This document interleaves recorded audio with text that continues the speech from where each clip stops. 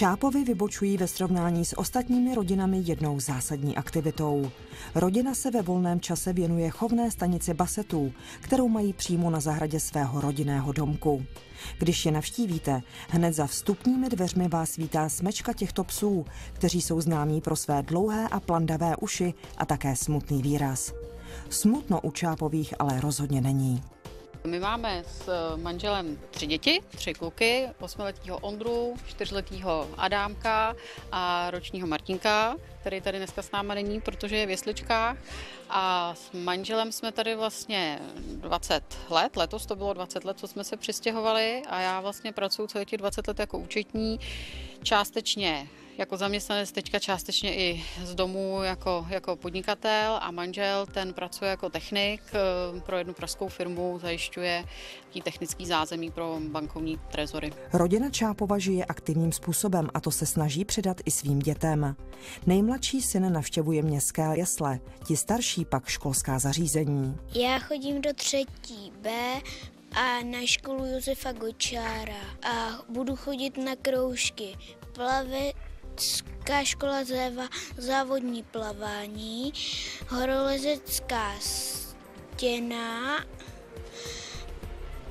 eh, zábavná logika, informatika a, a angličtina. Život s dětmi a početnou skupinou basetů naučil celou rodinu disciplíně a také trpělivosti. S odchovanými basety dosáhli úspěchu na evropské úrovni. Přestože tento koníček obnáší hodně práce, nelitují.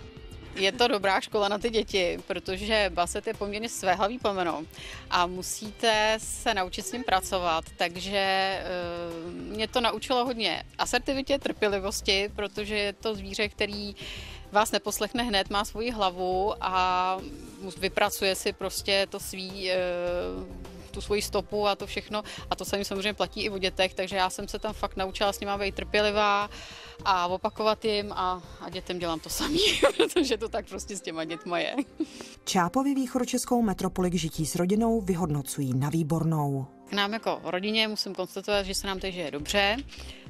Um, je tady dopravní obslužnost, eh, přístupnost jeslí, školek, škol, i toho následního vzdělávání střední školy, vysoké školy, takže co se týče mě, já jsem spokojená, musím pochválit město, že se nám tady o to i docela pěkně stará, že eh, s těma letama, co už tady jsme, tak eh, se tady udržují trávníky, spravila se cesta, a to můžu konstatovat vlastně i o Hradci Králové obecně, že se nám hodně lepší. Pokud se nic zásadního nestane, tak nemám důvod Hradec opouštět, protože je to opravdu příjemné místo na bydlení.